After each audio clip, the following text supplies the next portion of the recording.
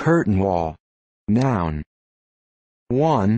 Storm shutters or other removable protection for all windows and doors in a residence or building against the effects of high winds, rain and flying objects during a hurricane. They can be made of a variety of materials such as aluminum panels, iron or even wood.